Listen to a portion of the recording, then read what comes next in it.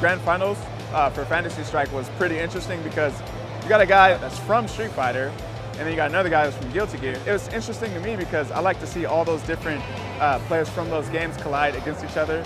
So as far as like, can it be competitive? I think it's a really good side game because you can learn it really fast. Uh, I mean, at most, like what the Ninja and Valerie will take you like a day to learn, and all the other characters probably take you an hour or two to learn. It's it's simple enough to, to pick up and to master quickly, but really hard to actually be good at. And I think that's the part about it where the competitive aspect really comes into play.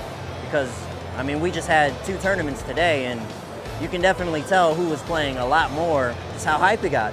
I mean, we're at Evo, and I kind of wish this was on the Jumbotron.